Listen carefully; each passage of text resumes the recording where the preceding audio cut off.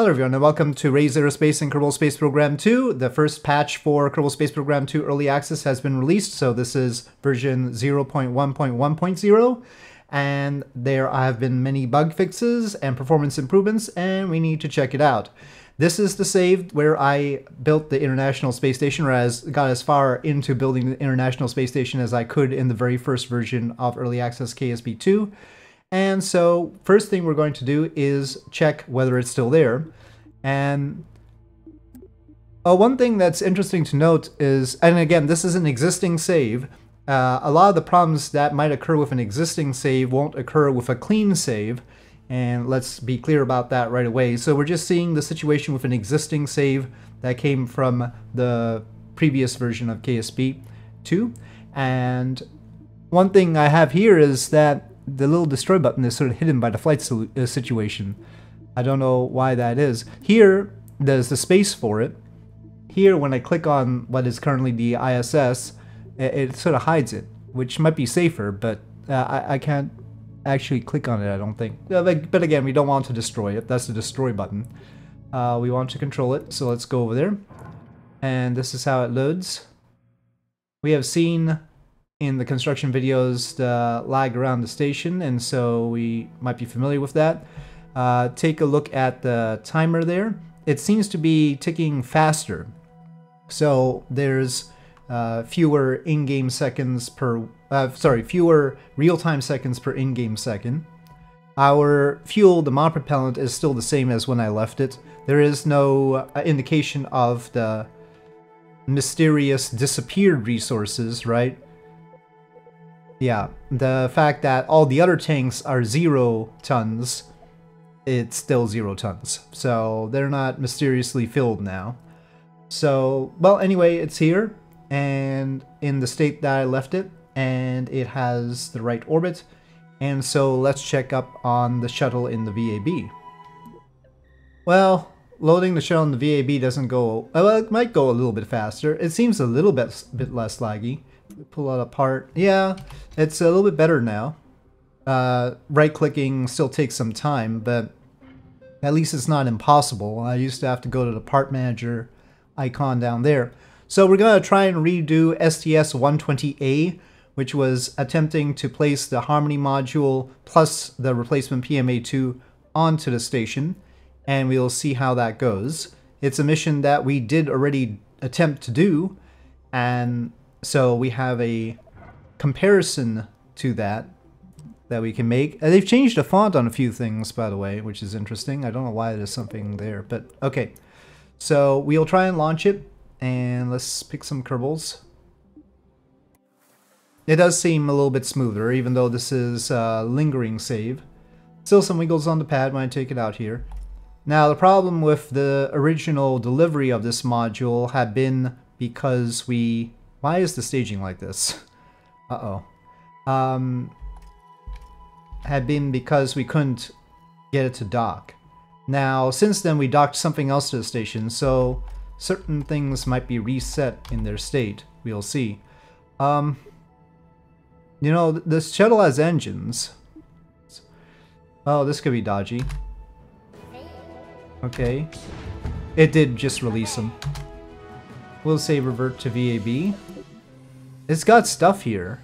it's got stuff here all spread out. It's completely different from what we just had. Okay, let me reload it.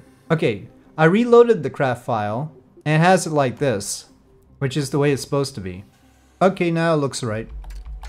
Okay. And launch.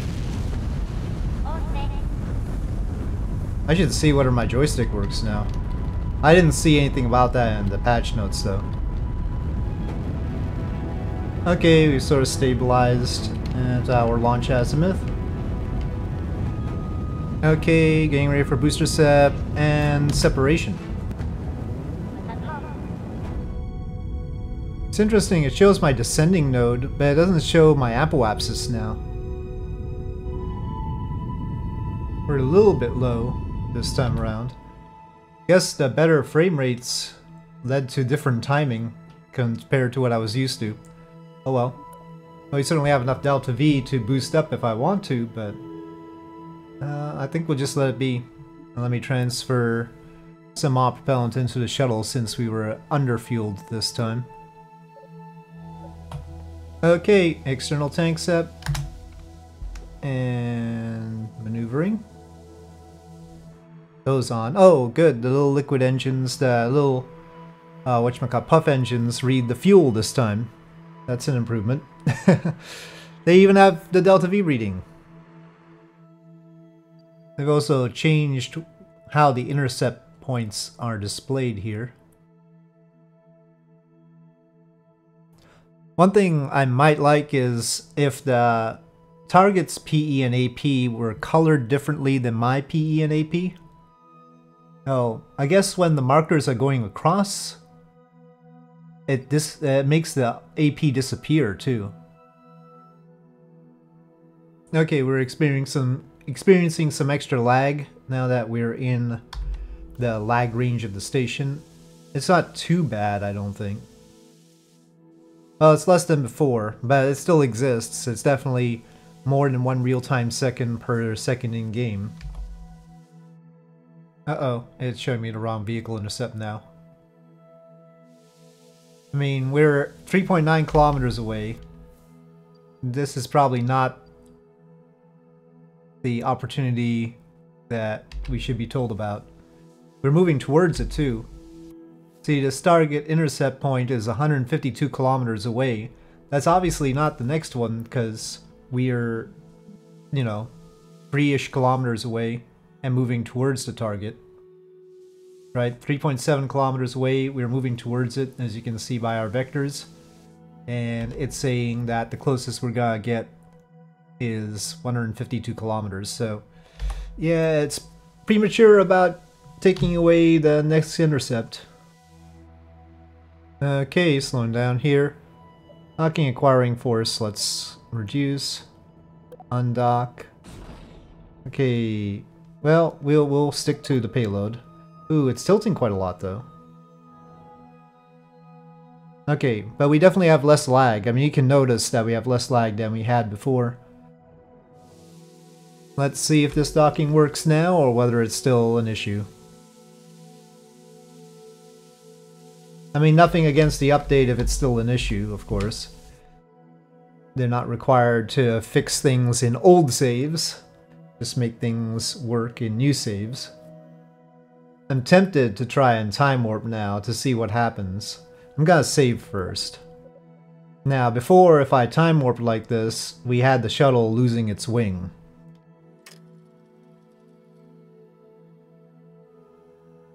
We need to attach to this side. Lag around the station is certainly better than when I left it in version 0.1.0.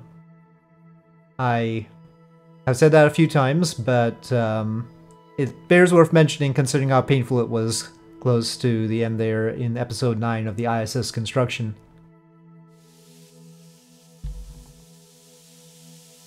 Smash into it. Nada. Nope. Busted port. So, performance improvements. And let's check the other bug fix, which is...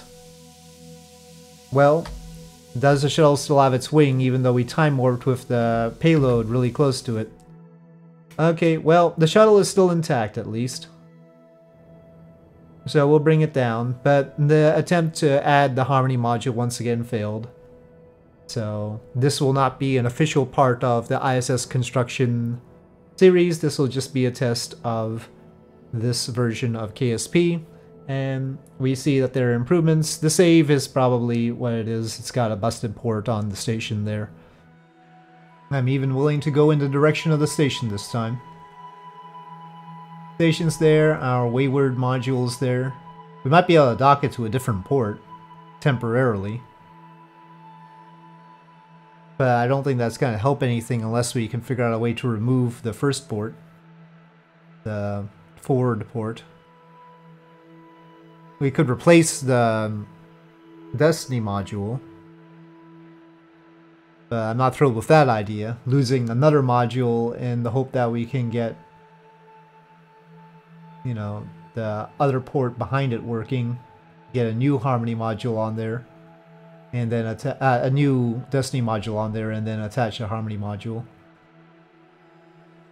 It's an option, but it's not a wonderful option. Okay, coming down on this orbit.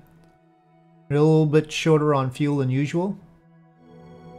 Okay, well, let's see if anything changed about the shuttle reentry. Sort of important. We're still going awful fast. And we're really high. Compared to usual. We can see the Space Center area there. I guess I can probably straighten up. But I think we're doing a left instead of a right, which is normally what I've done. Normally it's been a right turn. Oh, oh, go, point down, point down. Uh, doesn't want to go down. Trying to use the engines to help. Okay, there we go. Oh, too much, too much. Oh no. Oh no. Oh no, no, no. Okay, let me turn on the engines again, but that's not helping. This is not helping.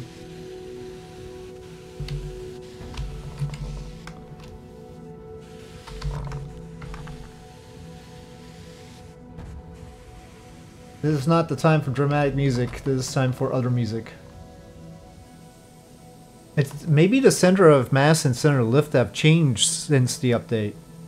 It feels like that. It feels like we've got a situation where the center of mass and center of lift have changed. So we might have to do some redesign of this. Is this gonna make the same sort of turn like the Clipper did? Well, uh, there we are, acquiring prograde again. But I don't think we have enough speed for much. Not the island runway. Oh no, not that. Well, it seems more probable than the main runways at this point. At this juncture. So I feel like something has changed there. It might be very subtle. The balance of the shuttle was very very precise in the first place. It's not like we haven't flipped out before either. I'd say aim for the middle of the runway, but there isn't that much runway. Okay, sort of see the runway there, woo. I want to say this flies better at low speed and height now. I mean, you know, barring the going out of control part.